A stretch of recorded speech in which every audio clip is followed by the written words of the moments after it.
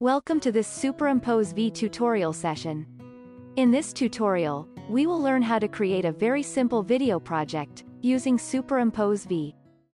Let's start, by tapping on the plus button, to create a project.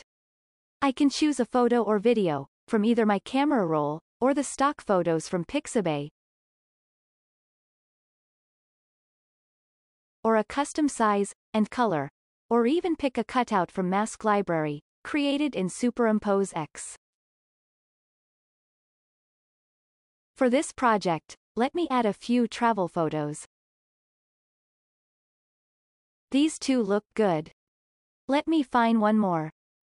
Now, tap the tick mark button, to load all the selected photos. Wow, we already have a video timeline with the photos in it. But we can do a lot more, to make it more interesting. We have added three photos into one track. We can add more tracks on top of this, but we will come to that later. First, let me reorder the photos in this track. And also add a video clip into this track. We can use this plus button on the same track, to add another element into it.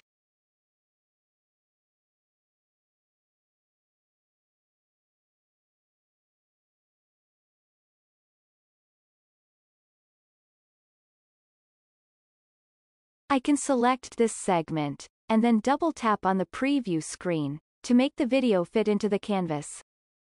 As you can see in the video timeline, the images and the videos change abruptly, from one into another. We can fix that, by adding transitions. We can see these white squares at the beginning and the end of each segment. We can tap on these, to bring up the transition editor, here we have a large selection of different transitions to choose from. For the first one, I am selecting the basic fade transition. And for the second one, I choose this blur transition. And for the third one, let me select this cool fade out transition. Let us try playing the video.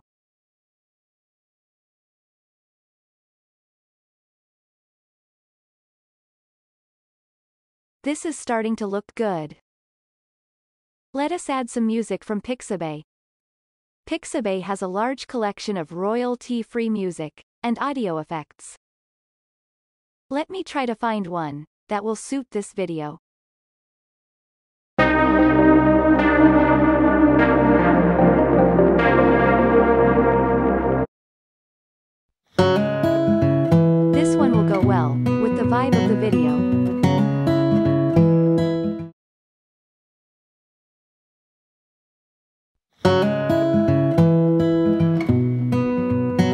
We are almost there, but I can add some text and shapes to make it look even better. I would like to add the shapes and the text on top of the existing video, so I tap on the green plus button, to add them on a new track. And then select Shape Layer, to add shapes and text. This however adds only an empty shape layer. I can double tap on the shape layer to bring up the editor, where I can actually add text and shapes. Tap on the Add Shape button to choose a shape. First, I am choosing text to add some text.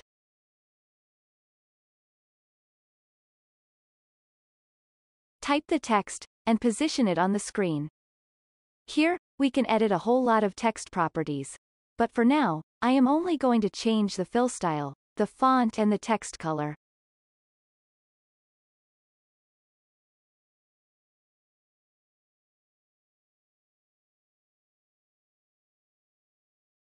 I think I should also add a shadow into the text.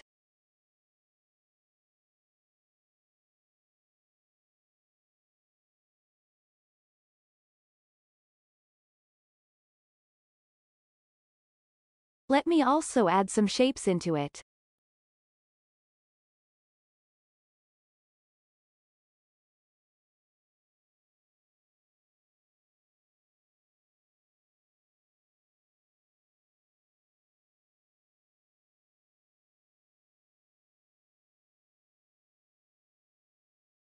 I can stack up more shapes into the same shape layer, by adding more.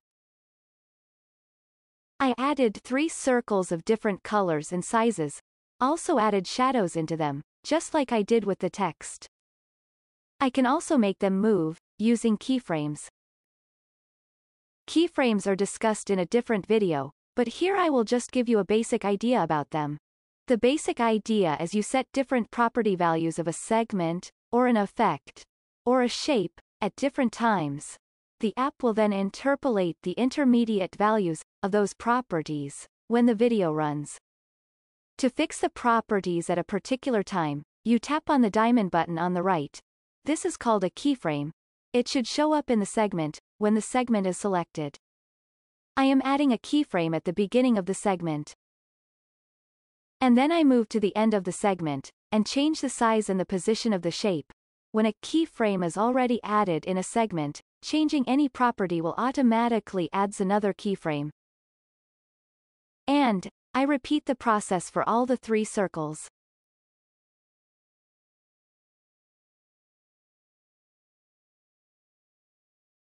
And finally move the text, up in the stack, so that the text is always above the shapes.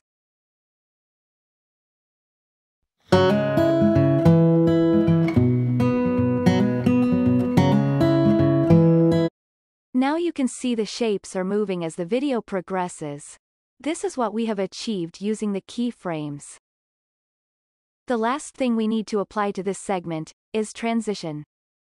Let us do that.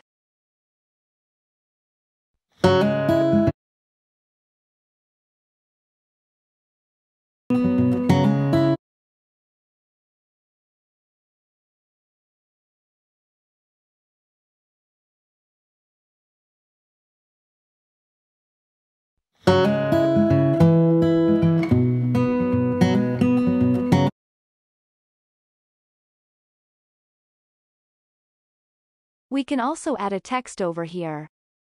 If we only want to add text and not shape, we can simply add a text layer.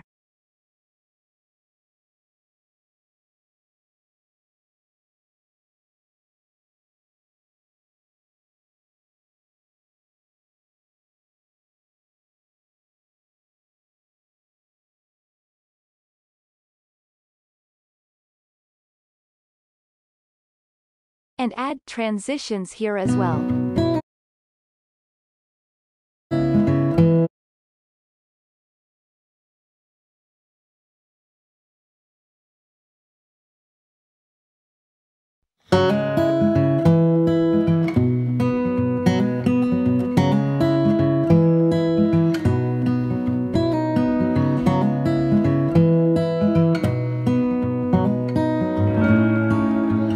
Now match the length of the music to the video.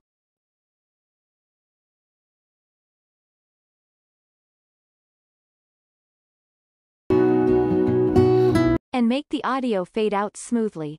Select the audio layer, and then bring up the fade options. Increase the fade out slider a bit.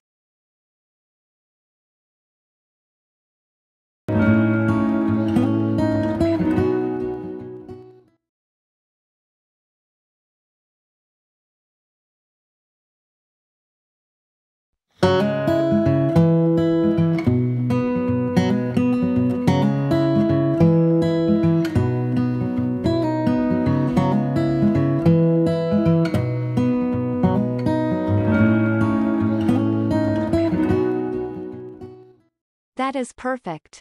Now let us save the video. There are many different options to save it, like as a video or a GIF. You can also choose options like resolution or frames per second, but I saved it as a video, with default settings here.